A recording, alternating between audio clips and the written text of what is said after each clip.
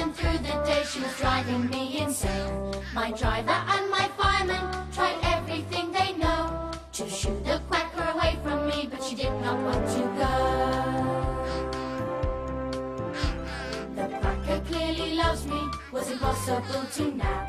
So now we have befriended her, she rides inside my cab. She quacks in stations big and small, she quacks at people too.